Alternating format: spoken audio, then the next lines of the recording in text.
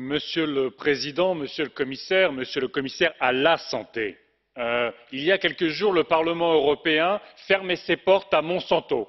Fermait ses portes à Monsanto parce que Monsanto méprise pas simplement notre santé, Monsanto méprise notre démocratie.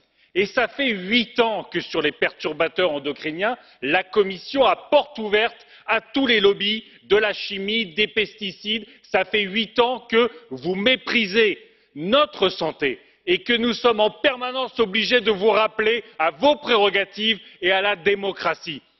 Alors aujourd'hui, maintenant qu'il est avéré que vous outrepassez vos prérogatives, que vous outrepassez vos compétences, vous avez raison de mentionner que les États membres ne sont pas clairs sur ce sujet-là. Et j'ai moi-même profondément regretté le recul de la France sur le sujet. Mais c'est votre responsabilité d'être garante des lois qui sont adoptées, y compris dans ce Parlement. Alors demain, pour des raisons de santé, parce que tous les jours, vous les voyez, les études qui disent les dangers. Pour des raisons de démocratie, nous allons refuser, nous allons objecter vos critères pour que vous fassiez de nouveau votre boulot pour la santé et pour la démocratie.